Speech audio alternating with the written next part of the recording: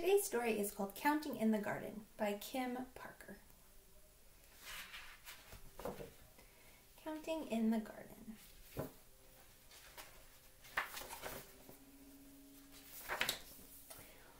One cat purring in the garden.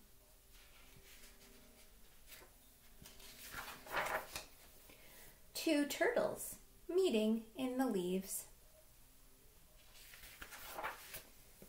Three dogs frolicking in the posies.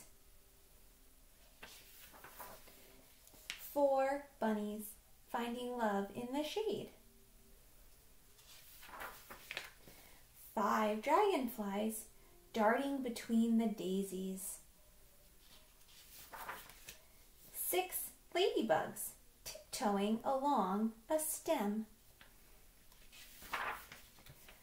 Seven birds nesting among the blossoms.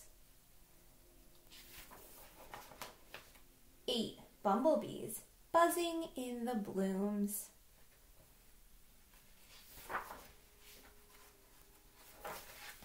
Nine inchworms inching towards the petals. Ten butterflies flitting among the flowers.